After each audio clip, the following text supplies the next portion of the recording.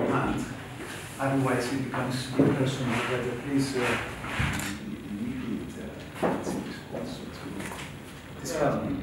I try to uh, to spell it out in a very. So first of all, thank you very much